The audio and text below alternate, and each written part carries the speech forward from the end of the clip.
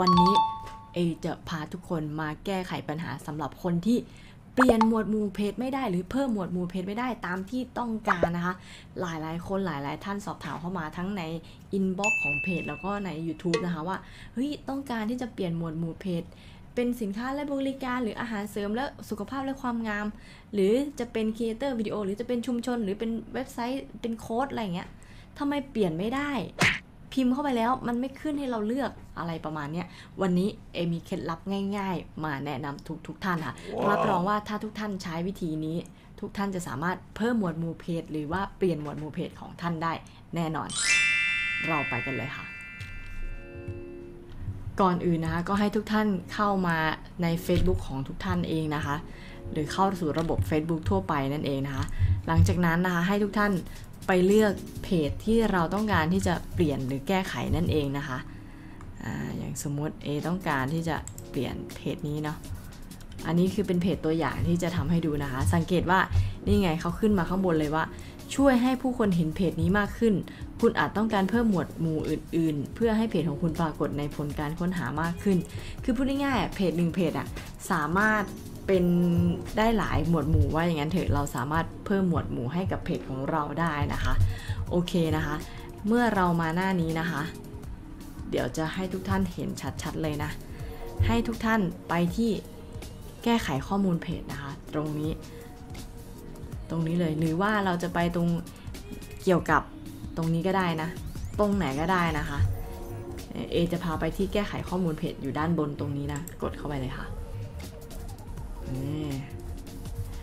แล้วทีนี้เขาก็จะแนะนำเราอะไรต่างๆเนาะแล้วเราเลื่อนลงมาดูตรงหมวดหมู่นะ ตรงนี้คือเราสามารถเพิ่มหมวดหมู่อื่น ๆ ลงไปได้ หรือว่าลบหมวดหมู่เดิมออกแล้วก็เปลี่ยนหมวดหมู่ได้ ซึ่งหมวดหมู่ที่เราจะเปลี่ยนนะ เราสามารถเปลี่ยนได้ตามที่เขาขึ้นตัวหนังสือมาให้ โดยเราต้องพิมพ์เข้าไปเบื้องต้นก่อน แล้วเขาจะขึ้นมาให้เราเลือก ดังนั้นเนี่ยมีหลายคนที่จะเจอปัญหาก็คือว่าพิมพ์ลงไปแล้วทำไมมันไม่ขึ้นตามที่เราต้องการหรือไม่ขึ้นให้เราเลือกอะไรเลย ซึ่งเอจะลองทำให้ดูว่าบางคนสมมุติว่าบางคนจะพิมพ์คำว่าชุมชนนะอย่างเงี้ยเป็นเพจชุมชน มันไม่ขึ้นนะ เออมันไม่ขึ้น หรือว่าคนอยากจะพิมพ์คำว่าออสินค้าและบริการพิมพ์คำว่าสินค้ามันก็ไม่ขึ้น แต่วันนี้เอมีวิธีแก้ไขแล้วเอก็รวบรวมมาให้ทุกคนแล้วนะ เบื้องต้นว่าเพจอะไรบ้างที่จะต้องพิมพ์ว่าอะไรบ้าง คือวันนี้ก็จะรวบรวมมาให้ แต่จริงๆแล้วอะเราสามารถที่จะหาเองได้โดยใช้แปลภาษานะ คือวันนี้เอจะแนะนำว่าให้ทุกคนอะพิมพ์หมวดหมู่เป็นภาษาอังกฤษก่อน คือเอาแค่ตัวขึ้นต้นสัก 2 ตัว 3 ตัวไม่ต้องเอาทั้งหมดทุกคำก็ได้นะ เป็นภาษาอังกฤษมันก็จะขึ้นมาให้เราเลือกแล้ว อย่างหมวดหมู่ชุมชนนะ อันแรกเนี่ยที่ค่อนข้างที่จะมีเยอะนะนั่นก็คือหมวดหมู่ชุมชนเดี๋ยวเอจะลองพิมพ์ดู คือเอไปค้นใน Google Translate อะวิธีการคือพูดง่ายๆเราไปค้นแปลภาษามาก่อนว่า มันน่าจะเป็นคำว่าอะไรเป็นภาษาอังกฤษนั่นเอง ซึ่งเอก็ได้มาคำว่าชุมชนเนี่ยก็คือคำว่า community ดังนั้นเนี่ยเอก็จะพิมพ์เป็นภาษาอังกฤษลงไปค่ะ C O M หรือ C O เฉยๆก็ได้นะ ถ้า C O M มันก็ยังขึ้นอยู่ นี่เห็นไหม พอเราพิมพ์ C O M คือมันจะเป็น community ใช่ไหม มันก็คือชุมชนนั่นแหละ มันก็จะขึ้นมาให้เราเลือกชุมชน องค์กรชุมชน นักแสดงตลกทำไมถึงเป็นนักแสดงตลกก็มันเป็นคำว่า comedy เออ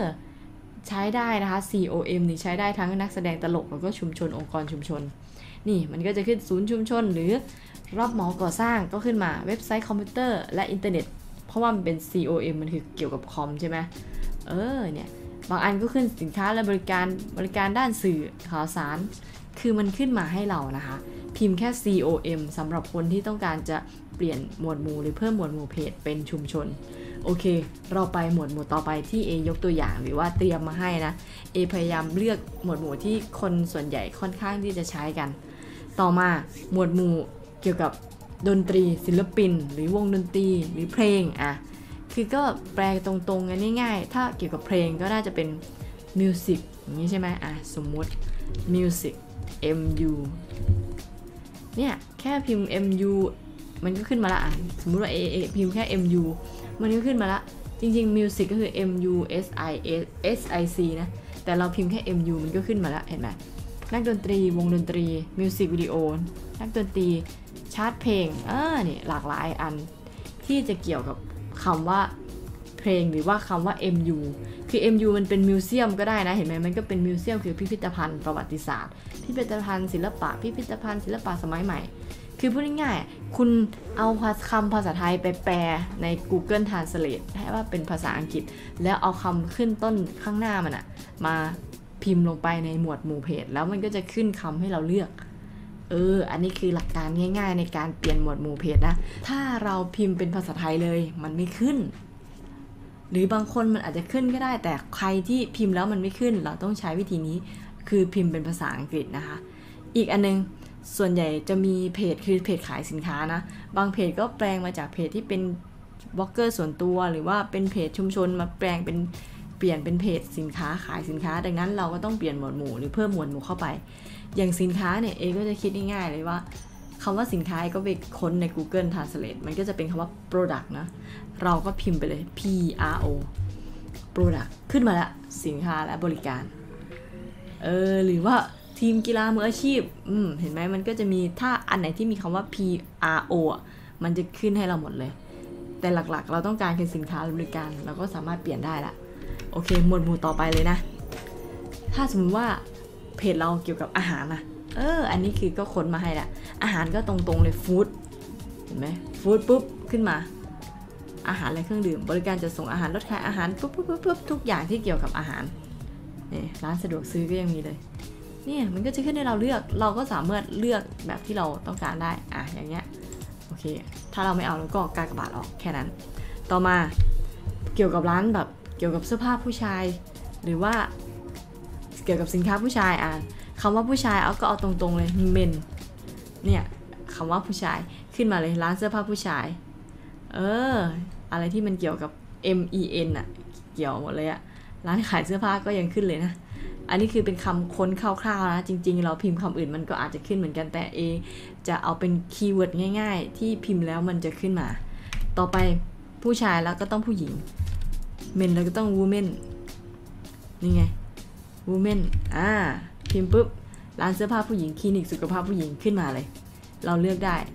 อย่างเงี้ย อ่า โอเค ถ้าเราไม่เอาแล้วก็การกระบาทออก แค่นั้น ต่อมา ถ้าสมมติว่าเป็นร้านค้าเกี่ยวกับการซื้อขายออนไลน์หรือช้อปปิ้งหรือขายปลีก เราอาจจะเคยได้ยินถ้ามันเป็นภาษาไทยมันจะเป็นแบบการช้อปปิ้งและค้าปลีก แต่เราพิมพ์ลงไปอะสมมติว่าเราพิมพ์การช้อปปิ้งและค้าปลีก การช็อป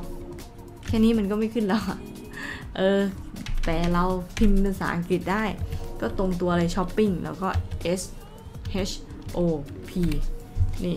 ขึ้นมาละการช้อปปิ้งและค้าปลีกง่ายๆ ใช้เป็นภาษาอังกฤษแล้วมันจะขึ้นให้เราเลือกค่ะ ต่อมาอีกตัวอย่างหนึ่งตัวอย่างสุดท้ายเอไปคิดมาแล้วว่าส่วนใหญ่คนกำลังทำเพจเกี่ยวกับประเภทนี้เยอะ นั่นก็คือโค้ชโค้ชนะ สมมุติว่าเราพิมพ์เป็นภาษาไทยนะโค้ชเออมันไม่ขึ้นนะ เราต้องเป็นพิมพ์เป็นภาษาอังกฤษดู C O A C H นี่ มาเลย โค้ชผู้ฝึกสอนส่วนตัว ครูสอนพิเศษ ครูสปอร์ตครับ ทุกอย่างที่มันเกี่ยวกับคำว่าโค้ชมันจะขึ้นให้เราเลือกง่าย ๆ ค่ะ อันนี้คือเป็นตัวอย่างที่เอไปค้นหาหรือว่าไปคัดมาแล้วว่าเพจส่วนใหญ่ที่คนใช้กันเนี่ย เป็นเพจที่เกี่ยวกับอะไรหมวดหมู่เกี่ยวกับอะไร และที่สำคัญ1เพจหรือ 1แฟนเพจของเราเนี่ยสามารถมีเพิ่มหมวดหมู่ได้หลายหมวดหมู่นะเพื่อให้อะไรเพื่อให้คนน่ะสามารถค้นเข้ามาเจอเราได้จากการค้นผ่านหมวดหมู่ต่างๆ นั่นเองนะคะ แต่ว่าหมวดหมู่นั้นมันก็ต้องเกี่ยวกับเพจเราด้วยนะ เพราะว่าถ้าเขาค้นมาแล้วเพจเราไม่ได้เกี่ยวกับหมวดหมู่นั้นเลยเออเขาก็ไม่ติดตามเขาก็ไม่ดูเพจเรานะคือพูดง่ายๆเพจเราอะต้องเกี่ยวกับหมวดหมู่ที่เราตั้งด้วยนะคะ ถ้าสมมุติว่าบางคนอาจจะอยากตั้งหลายหมวดหมู่ก็ เอาให้มันเกี่ยวสักอันนึงอะเออ ให้มันรู้ว่าเพจเราอะเป็นเพจประเภทนี้นะคะ สรุปใจความสำคัญง่ายๆค่ะ ถ้าคุณจะเปลี่ยนหมวดหมู่เพจ หรือว่าเพิ่มหมวดหมู่เพจ พิมพ์เป็นภาษาไทยถ้ามันไม่ขึ้นให้เลือก ให้คุณพิมพ์เป็นภาษาอังกฤษ ถ้าไม่รู้จะพิมพ์ภาษาอังกฤษว่าอะไร ให้คุณไปใช้ Google Translate ค่ะ แล้วเราก็เอาตัวอักษรของภาษาอังกฤษ เอาตัวข้างหน้าสัก 2-3 ตัวเข้ามาพิมพ์ลงไป มันก็จะขึ้นให้เราเลือก